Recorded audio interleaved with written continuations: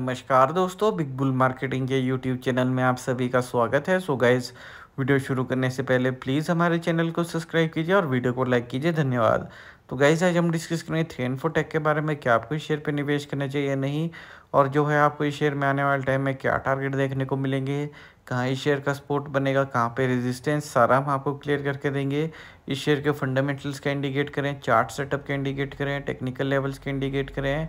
और क्यों हम आपको कह रहे हैं कि आप इस शेयर में पोजीशंस मत बनाइए, वो भी हम आपको ए टू जेड क्लियर करके देंगे। तो गाइज़ अगर आप इस शेयर में निवेशक है, निवेश करने की सोच रहे हैं तो वीडियो जो है गाइज़ एंड तक ज़रूर देखेगा।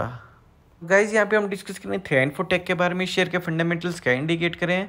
तो सबसे पहले ओनरशिप के बारे में बात करें तो फ्री फ्लोट में जो है गाइज़ सेवेंटी नाइन परसेंट है और क्लोजली हेल्ड जो है ट्वेंटी परसेंट है। तो ओनरशिप डिस्ट्रीब्यूशन में आपको यहाँ पे जो है एक रेड फ्लैग देखने को मिलेगा, क्योंकि काफ़ी ज़्यादा जो है ओनरशिप ओपन मार्केट में अवेलेबल है। तो यहाँ कहीं ना कहीं प्रमोटर्स ने अपने शेयर्स को डंप किया है और रिटेल इन्वेस्टर्स को चिपकाया है। तो ओनरशिप में गाइज़ यहाँ पे रेड फ्लैग है। और वैल्यूएशन रेशो के बारे में बात करें तो वैल्यूएशन भी कंपनी की अभी आप देख सकते हैं काफ़ी एक्सपेंसिव है क्योंकि ऑर्डर्स कंपनी को मिल नहीं रहे और कंपनी का स्टॉक अपने शेयर प्राइस को जस्टिफाई नहीं कर पा रही, जिसकी वजह से इसकी पी रेशो अभी काफ़ी एक्सपेंसिव है और एक ओवर वैल्यूड जोन में है। यहाँ पे आप देख सकते हैं कि क्यों इतना ज़्यादा एक्सपेंसिव है इसका पी क्योंकि यहाँ पे आप देख सकते हैं रेवेन्यू कंपनी का गिरा है नेट इनकम कंपनी की जो है गिरी है प्रॉफिट मार्जिन गिरे हैं।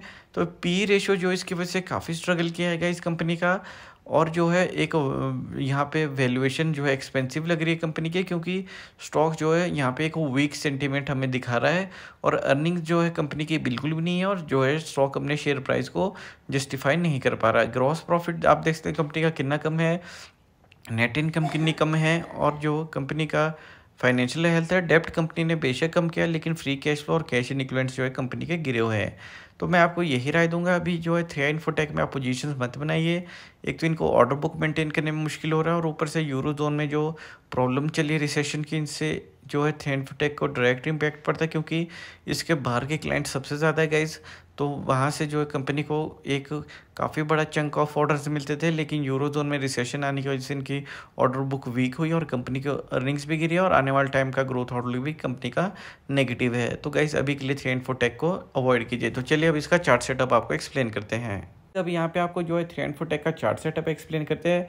तो आप खुद देख सकते हैं गाइस स्टॉक में कितना एक जो है वीक सेंटीमेंट बना है, एक डाउनवर्ड ट्रेंड इस शेयर में बना हुआ है और वॉल्यूम्स भी स्टॉक में जो है काफ़ी कम है और जो एक कंसोलिडेशन फ़ेज़ में हमें स्टॉक जाता हुआ दिख रहा है और जिस हिसाब से यूरो जोन में रिसेशन है तो अभी लग नहीं रहा कोई बड़े ऑर्डर्स की उम्मीद जो है थ्री एंड फोटेक को मिलेगा। तो काफ़ी लंबे समय तक स्टॉक में एक वीक सेंटीमेंट और एक वीक ट्रेंड हमें देखने को मिल सकता है। तो मैं आपको यही राय दूँगा और मेरे आपको यही सलाह रहेगी थ्री एंड फोटेक में अभी आप पोजीशन से मत बनाइए। ये शेयर अभी आपको कोई भी जो है रिटर्न बना के नहीं देगा। इस शेयर में अभी आपको ऐसा ही वीक ट्रेंड और एक वीक सेंटिमेंट देखने को मिलेगा। तो अभी के लिए स्टॉक को अवॉइड कीजिए और किसी और स्टॉक में निवेश करने के बारे में सोचिए। तो गाइज़ थ्री एंड फोटेक अभी सेल कॉल रहेगी। अभी जो है शेयर में आप निवेश मत कीजिए। तो गाइज़ ऐसी और वीडियो देखने के लिए चैनल को प्लीज़ सब्सक्राइब कीजिए वीडियो को लाइक कीजिए। धन्यवाद।